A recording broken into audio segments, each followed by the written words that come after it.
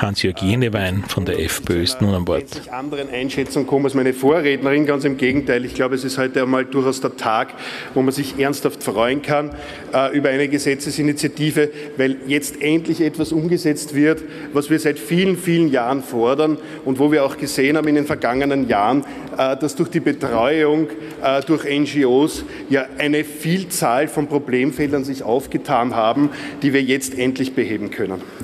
Äh, mit dem Errichtungsgesetz, das wir heute beschließen, äh, ist es erstmals möglich, dass die Rechtsberatung in asyl- und fremdenrechtlichen Verfahren und die Rückkehrberatung äh, objektiviert wird. Wie war das in der Vergangenheit? In der Vergangenheit waren da verschiedenste Einrichtungen, äh, privatwirtschaftlich organisierte Einrichtungen daran beteiligt und man hatte schon oftmals den Eindruck, dass es hier gar nicht um Rückkehrberatung geht.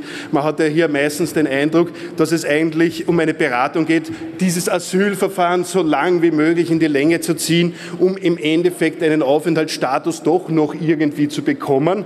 Äh, warum hat man diesen, diesen Weg früher gewählt? Das war ganz klar, weil natürlich jeder Asylwerber, der in dieser Beratungssituation so einer NGO war, bares Geld bedeutet hat für diese Vereine. Und man muss natürlich schon auch konstatieren, dass gerade jene Bereiche, die, die von, von Grünen, die von SPÖ-nahen Vereinen hier beraten wurden, natürlich auch ein Versorgungsheim für Soziologen, für Pädagogen, für Sozialarbeiter, für Politologen und für sonstige Sozialwissenschaftler Wissenschaftler war, wo man halt Leute äh, wirtschaftlich auch versorgen konnte. Mit diesem Unwesen wird jetzt Schluss gemacht, meine sehr geehrten Damen und Herren.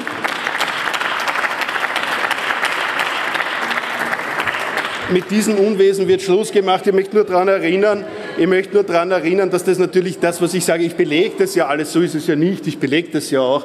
Äh, ich darf nur daran erinnern, im Jahr 2015 hat das sogenannte Südwind-Magazin, vielleicht kennen es da einige, es ist jetzt nicht so wichtig, das zu kennen, aber ich möchte es Ihnen nur zur Kenntnis bringen, das Südwind-Magazin in seiner Ausgabe 6 äh, 2015 eine, einen, einen Vier-Punkte-Plan quasi äh, dargelegt, wie es möglich ist, Abschiebungen bestmöglich zu verhindern, wo dann im, im, im, im letzten letzten Satz drinnen steht, dass ja der Pilot ab dem Zeitpunkt, wo die, wo die, wo die, Cockpit, äh, wo die, wo die Flugzeugtüre geschlossen wird, ja der Pilot schlussendlich darüber entscheidet, ob jemand mitgenommen werden kann oder ob jemand nicht mitgenommen wird. Man braucht also nur laut genug schreien, äh, äh, damit man dann im Endeffekt eine Abschiebung verhindert. Auch das war eine Beratung von einer, von, von, in dem Fall halt von einem Magazin, aber das war eine Beratung, wie sie teilweise von NGOs gekommen ist, wo man einfach versucht hat, den Rechtsstaat hat, in die Länge zu ziehen, auszureizen, bis an die Möglichkeiten zu gehen. Und ich bin frohen Mutes,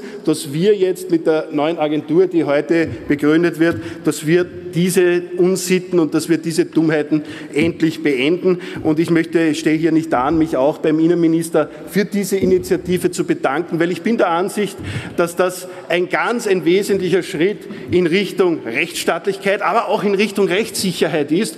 Und äh, man wir haben, wir, haben, wir haben oft hier Gesetzesmaterien, die in ihrer Komplexität und, und in ihrer Auswirkung erst Monate oder Jahre später äh, greifbar oder begreifbar werden, weil es einfach so lange dauert, bis sich gewisse Systeme verändern.